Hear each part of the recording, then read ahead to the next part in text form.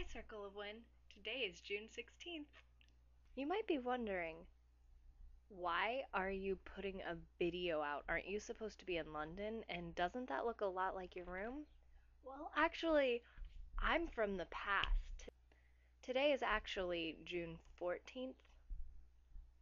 This is all an idea Sam, I think, came up with, where I'm posting all of my videos for the next weeks in advance under private. So you out there watching, you'll have to wait.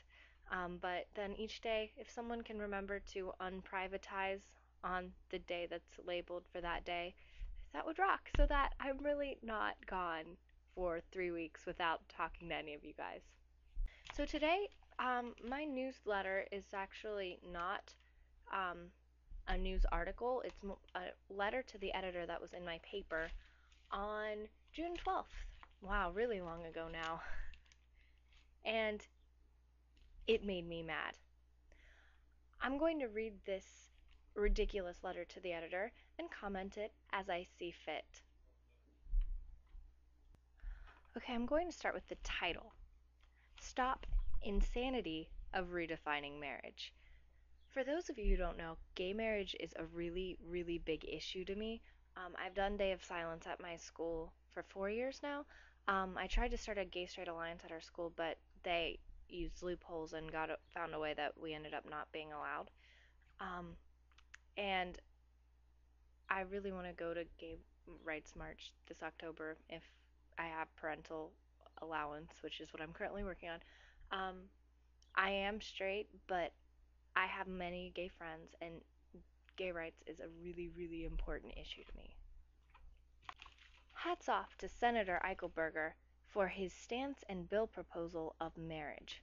Okay, first off, Senator Eichelberger is our local senator, um, state senator, and he holds a yearly leadership thing for high school juniors that I just attended, in which we argue about bills um, that are currently going on in the Senate. And one of them was this, and it's um, we actually ended up voting against what he wanted, so it was really funny.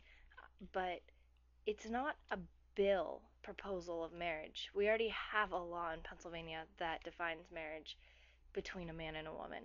Um, what they're trying to do in Pennsylvania right now is create an amendment to our state constitution that would define marriage as between a man and a woman, um, which is kind of redundant when you think about it. And the only reason they're doing that is so that the Supreme Court of Pennsylvania can't say it's not in the Constitution.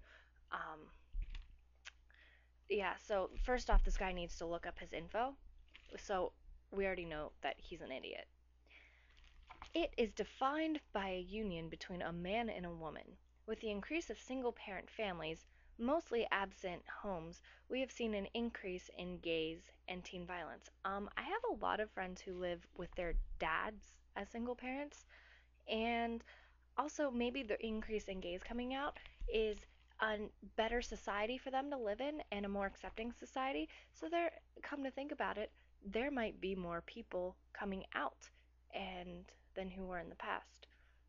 So I really don't see a correlation there. Every world power from the ancients, for example Greek, Roman, have dissolved within and sexual misconduct helped lead the way.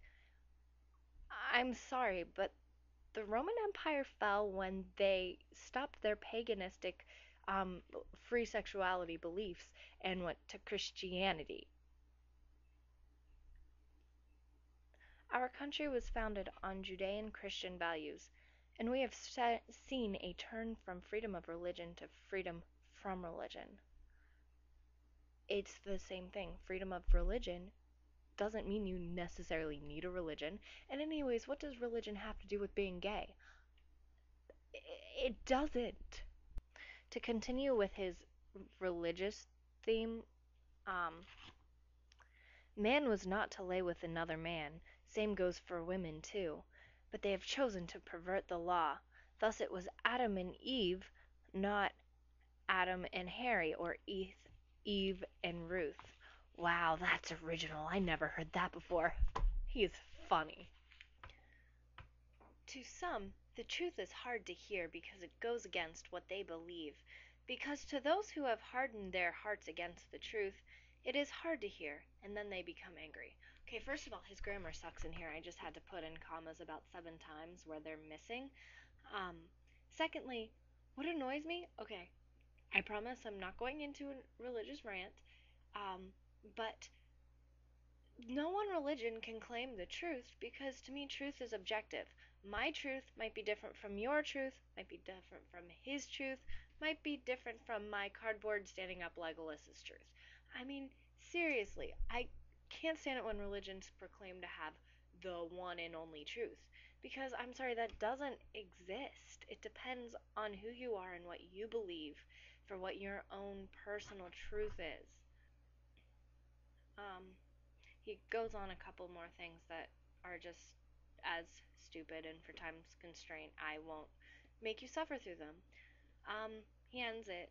Let's stop this insanity of redefining what marriage has been, and always was, and always should be a moral union between a man and a woman. So, once again, Willard J. Thompson is just trying to tell us that marriage between a man and a man or a woman and woman is immoral in his own eyes. Um, so, dude, Willard J. Thompson, I have an idea for you. If you don't like gay marriages, don't marry a dude. It, it's as simple as that. It's to me, gay rights is the same as abortion. What one person thinks shouldn't be applied to the rest of the country. Um, I don't think that there's going to be any kind of m- merge of ideas on this because some everyone is so strongly um, rooted in their beliefs in issues like this. But because of that, we should be sensitive as a people and as a government to everyone's beliefs, and we should not impose our ideals and beliefs on other people. Sensitivity and love is what we need. I'm a Hufflepuff. It's my own opinion, but So, to all of you who are laughing up in nice liberal parts of New England, Willard J. Thompson's populate my county and my town and my school, and that's what I have to deal with on a daily basis. Save me. Laurel out.